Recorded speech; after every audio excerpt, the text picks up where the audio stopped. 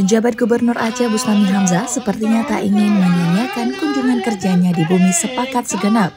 Usai bertindak sebagai inspektur upacara hari jadi Kabupaten Aceh Singkil, di halaman kantor Bupati setempat bersama istri dan Ketua DPR Azul Fadli serta Bupati Aceh Singkil Azmi. Gubernur berziarah ke makam Syekh Ali Al-Fanshuri yang merupakan ayahanda dari ulama besar Syekh Abdul Rauf As-Singkili. Perjalanan menantang membelah sungai Simpang Kanan menggunakan perahu raja cukup memacu adrenalin.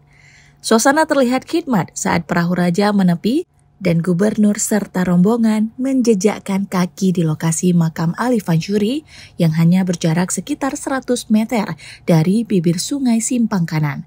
Bersama istri dan ketua DPR Aceh, serta Bupati Aceh Singkil, gubernur kemudian larut dalam zikir dan doa yang dipimpin oleh Ustadz Azwar Ramnur setelah sebelumnya mendengarkan penjelasan singkat tentang perjalanan dakwah Syekh Ali Fanshuri dari Wan Harlinga.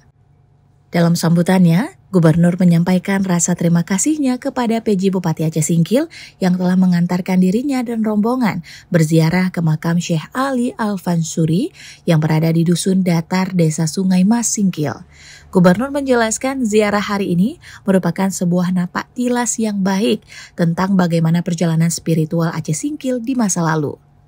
Ia mengatakan 25 tahun sudah seperempat abad Singkil berdiri. Sejarah panjang yang mendasari berdirinya Singkil sejak lampau harus dijadikan alas bijak bagi arah pembangunan Singkil yang lebih baik untuk mewujudkan masyarakatnya yang sejahtera.